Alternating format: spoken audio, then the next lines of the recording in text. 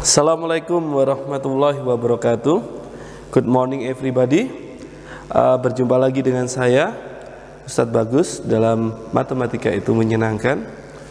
Oke anak-anak Pada perjumpaan sebelumnya Kita sudah belajar banyak tentang bilangan bulat Meliputi garis bilangan, operasi penjumlahan, pengurangan, perkalian, pembagian hingga operasi campuran pada bilangan bulat.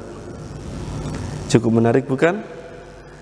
Pada kesempatan kali ini, Ustadz akan menerangkan aplikasi dari salah satu bilangan bulat, yaitu mengenai faktorisasi dan faktor prima pada bilangan bulat.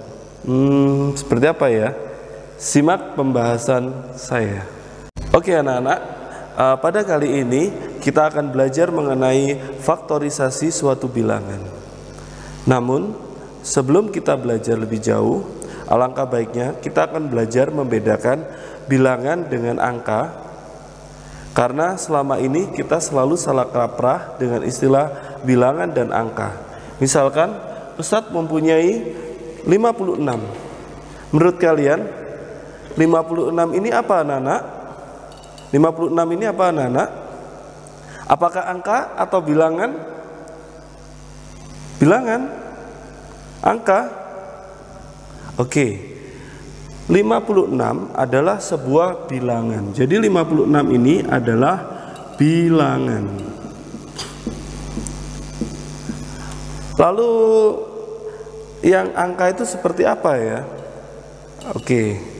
Sedangkan angka adalah 0, 1, 2, 3 hingga 9 itu disebut angka Mengapa disebut angka? Karena bilangan itu disusun oleh angka-angka. Contohnya 56. 56 ini adalah sebuah bilangan, sedangkan 5 adalah angka yang membentuk bilangan 56. Jadi, jangan salah kaprah ya mengenai ini.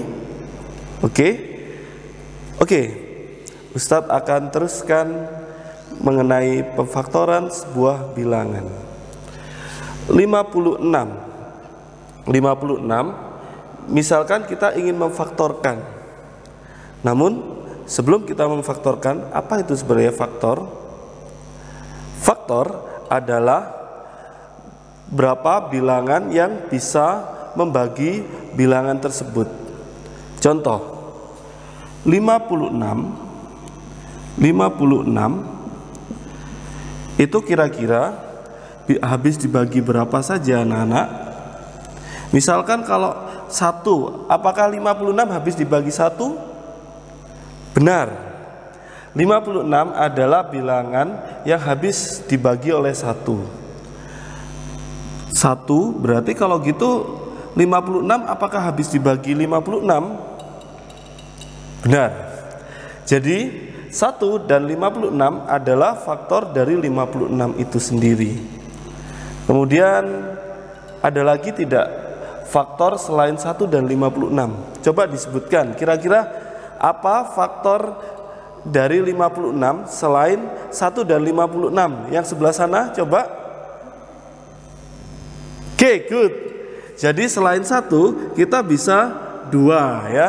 Kenapa? Karena 56 ini adalah sebuah bilangan yang habis dibagi dua.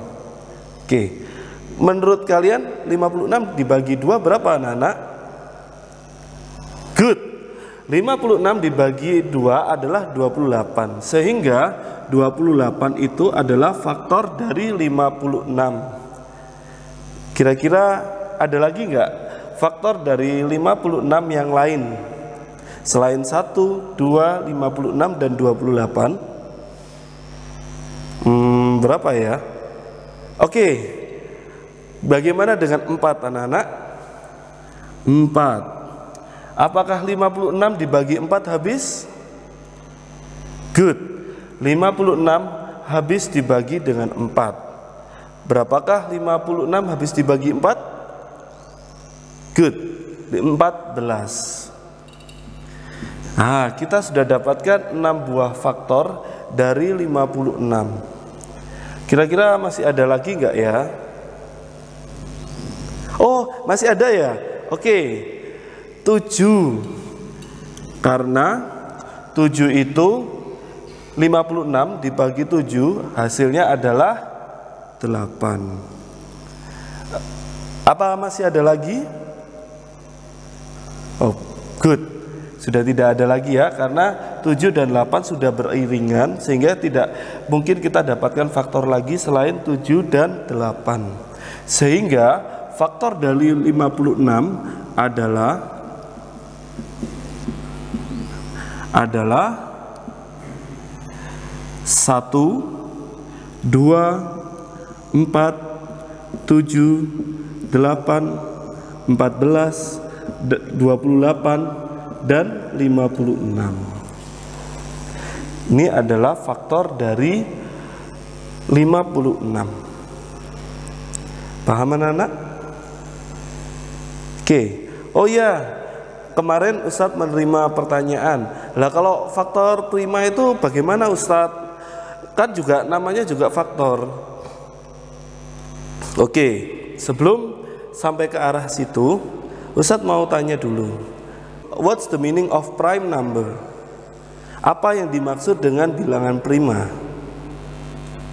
Bilangan prima adalah bilangan yang habis dibagi satu dan bilangan itu sendiri atau dengan kata lain bilangan prima hanya memiliki dua buah faktor.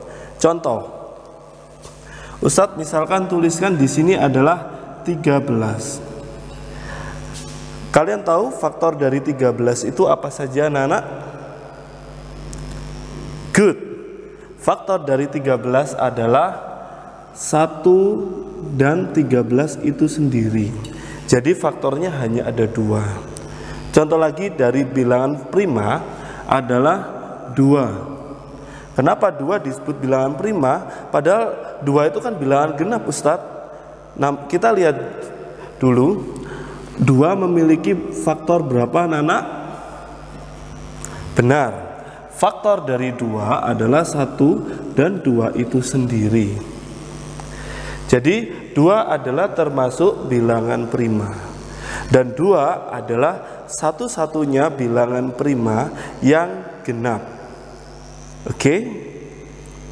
jadi anak-anak menurut kalian dari 1, 2, 3, 4, 5, 6, 7, 8 dari ke-8 ini ke-8 faktor dari 56 berapakah faktor prima dari 56 Berapakah faktor prima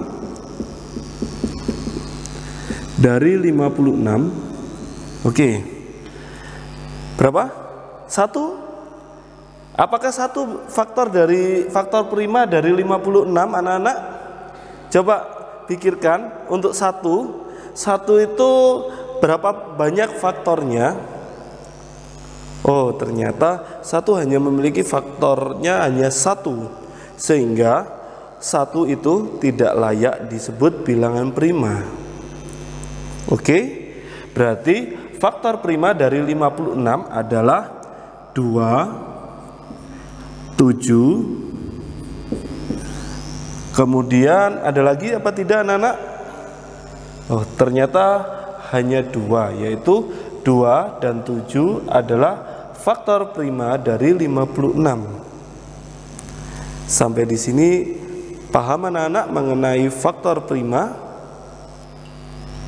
Oke, okay, good. Berikutnya, Ustadz akan bahas mengenai faktorisasi pada sebuah bilangan.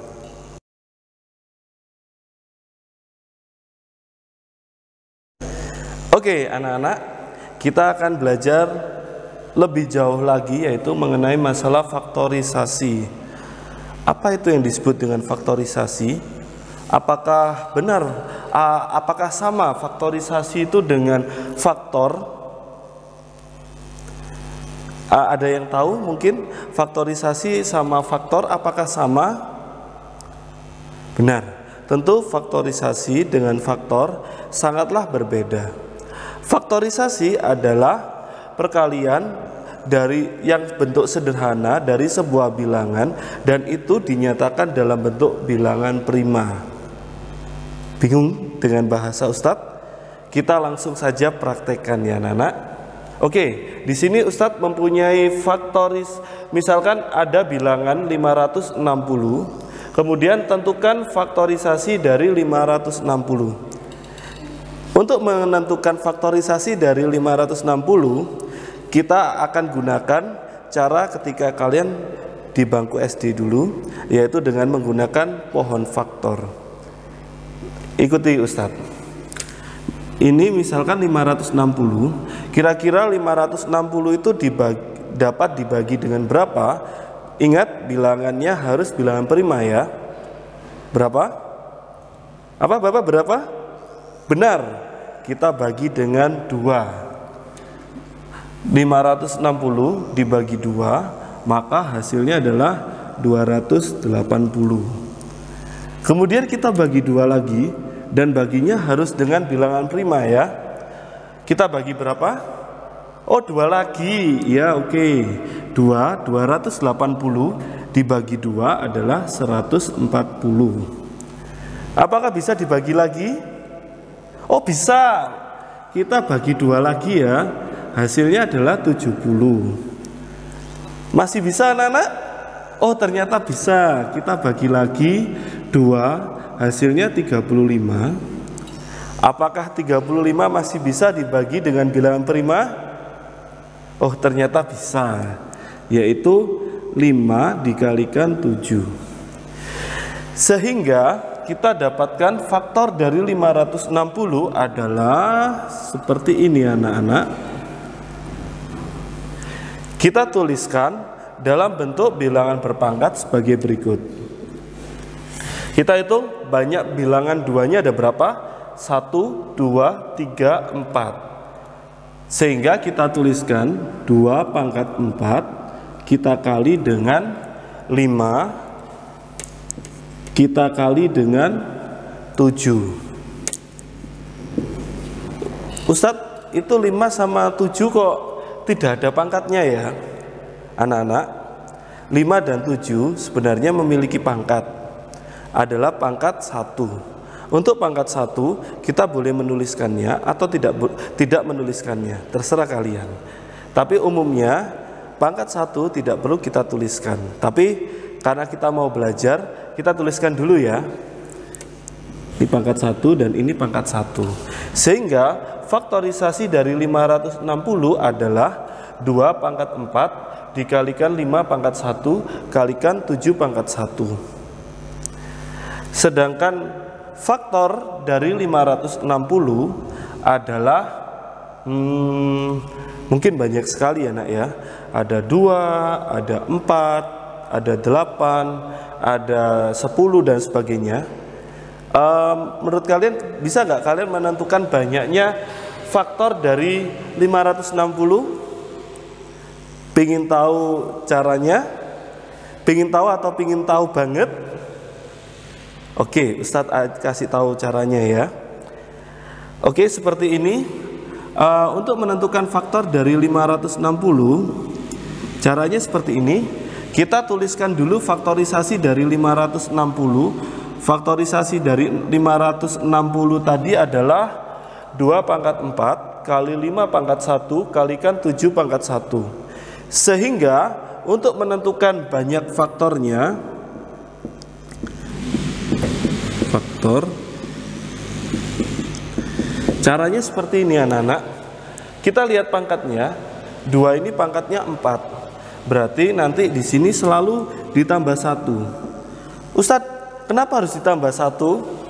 Untuk sekarang Ustadz nggak bisa jawab karena uh, kalian masih belajar dasarnya. Nanti ketika kalian di sekolah menengah ke atas kalian akan tahu jawabannya. Ini pangkatnya 4 kita tambah satu jadi 5 kemudian kita kalikan. Ini limanya pangkat satu ya kita tambahkan satu sehingga kalikan dua tujuhnya pangkat satu satunya ini kita tambah satu sehingga dua sehingga banyak faktor dari 560 adalah 5 kali 2 kali 2 hasilnya adalah 20 faktor. Faktornya apa saja? Silakan kalian coba sendiri di rumah ya. Oke. Sekarang untuk faktor prima. Untuk faktor prima dari 560 kita dapat lihat dari faktorisasinya anak-anak. Kita lihat bilangan primanya ada tiga jenis yaitu 2, 5, dan 7. Kita menuliskannya faktor prima cukup 2, 5, dan 7 tanpa harus dibubuhkan oleh tanda pangkat. Ingat, jangan dibubuhkan tanda pangkat ya. Cukup kita tulis faktor primanya saja yaitu 2, 5, dan 7. Sudah paham anak-anak? Good. Oke. Berikutnya Ustadz akan bahas dua soal mengenai faktorisasi dan faktor prima. Oke.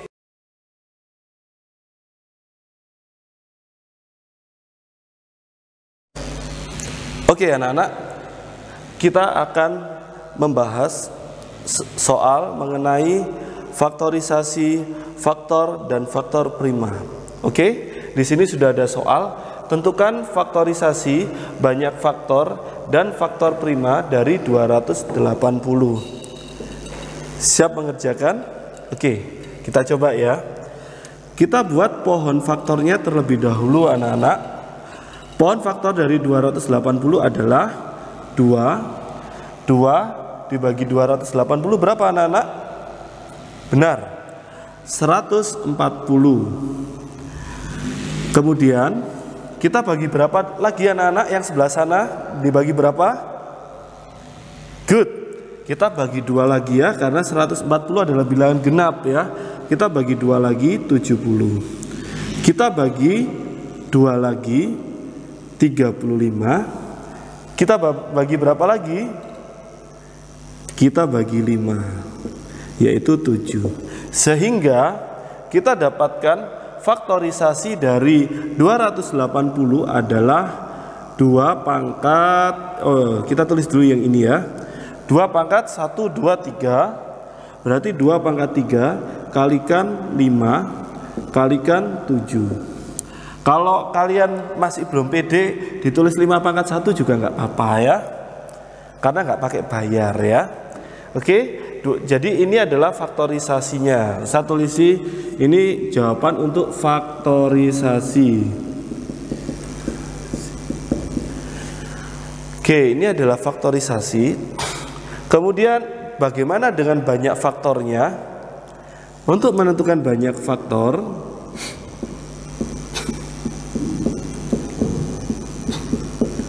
Oke, kita gunakan cara seperti yang Ustadz ajarkan tadi, yaitu kita lihat ini pangkatnya adalah tiga, maka kita selalu tambah satu, ini jadi empat, kita kalikan, limanya ini pangkat satu ya, sehingga kita kalikan, eh kita jumlahkan ya, maaf ya, kita jumlahkan satu yaitu dua, ini kita kalikan, tujuhnya pangkat satu, kita tambahkan satu juga anak-anak, saya dua, sehingga banyak faktor dari 280 adalah 4 kali 2 kali 2 hasilnya adalah 16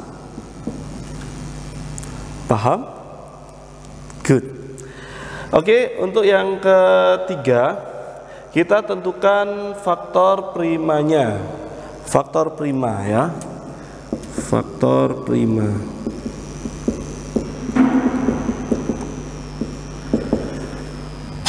Oke, faktor prima. Kita lihat saja di faktorisasi kita tadi. Faktorisasinya adalah 2 pangkat 3 kali 5 pangkat 1 kali 7 pangkat 1 sehingga faktor primanya apa saja anak-anak? 2, 5, dan 7 sehingga faktor prima dari 280 adalah 2, 5, dan 7 Sampai di sini paham anak-anak? Any question? Oh enggak, Alhamdulillah. Berarti sudah paham ya? Oke, kita akan bahas soal yang kedua.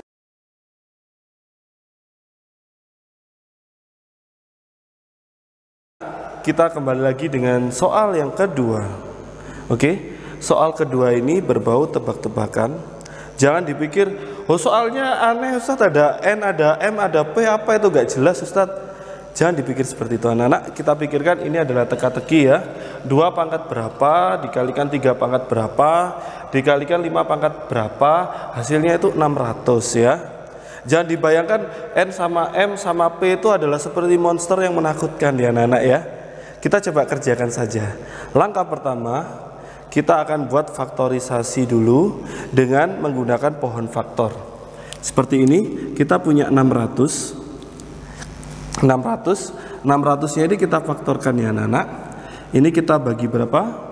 2 jadinya 300 kita bagi lagi. Bagi berapa ya? Oh benar. Bagi 2 berarti 150 kita bagi lagi karena 150 adalah bilangan genap ya kita bagi 2 berapa dibagi 2 75 kita bagi lagi. Apakah 75 masih bisa dibagi anak-anak?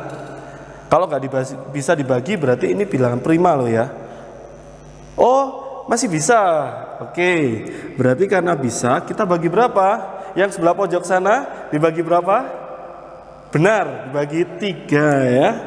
Berarti 75 dibagi tiga hasilnya adalah 25. 25 kalau ini sudah familiar ya, sudah banyak yang tahu, yaitu 25 adalah 5 kalikan 5. Sehingga kita akan buat faktorisasi dari 600 adalah 2 pangkat berapa? 1, 2, 3 2 pangkat 3 dikalikan 3, 3 nya hanya 1 ya 3 pangkat 1 dikalikan. 5 nya ada berapa anak-anak? 2 berarti 5 pangkat 2 paham? oke sekarang kita tentukan nilai dari N M sama P nya kita lihat ini N nya dicari. Ternyata N nya ketemu 3 ya. Berarti N nya sama dengan 3 kemudian M nya dicari juga dan kita ketemukan bahwa M nya adalah 1 P-nya berapa? Benar. P-nya adalah sama dengan 2. Cukup mudah anak-anak? Gak ada yang ditakutkan kan dengan matematika? Oke?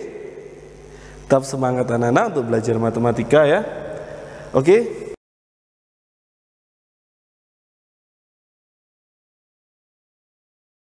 Oke anak-anak, kita sudah belajar apa hari ini?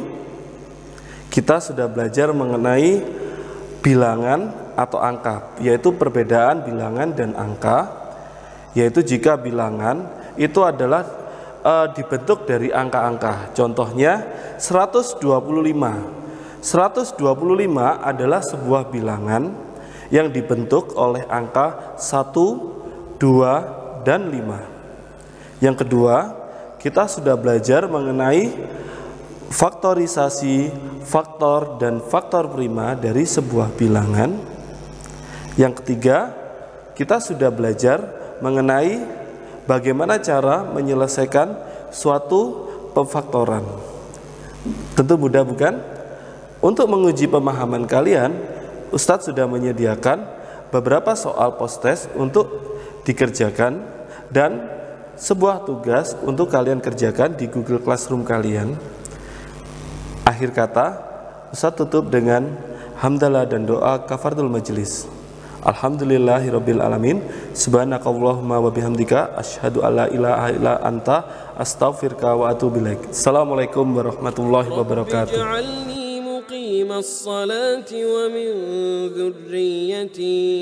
ربنا وتقبل دعاء